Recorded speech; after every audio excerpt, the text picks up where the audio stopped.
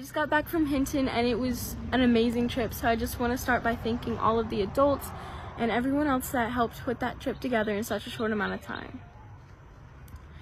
I really did enjoy that trip and I gained so much not only with my walk with God but also in relationships. I just built so many new relationships through that trip and strengthened others.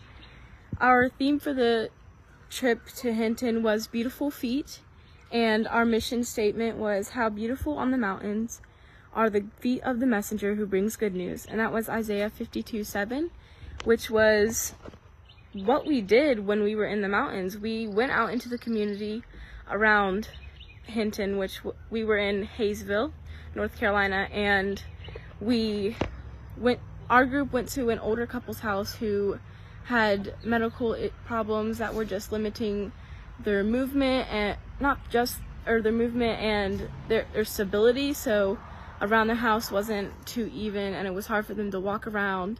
And she was the wife was telling us how she would start projects but she could never finish them and her husband would do the same. And they've been very limited recently. So we just went to their house and we cleaned up around it and we got it looking as nice as we could which was amazing. And we and it really did look so much better. And she said that she can she's excited because she can go out there and drink her coffees in the morning and watch the birds because we filled up the bird feeders.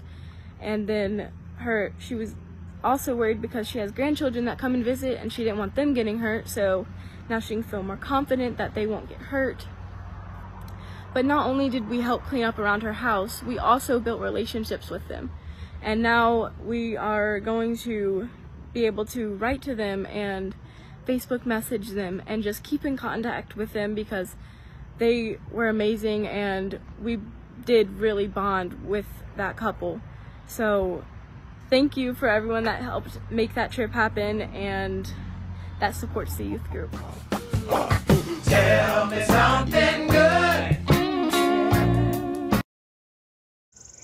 Jeff, Karen, Susanna, Caleb, and Mary went to Kentucky to experience the Ark encounter. It looks like an awesome trip.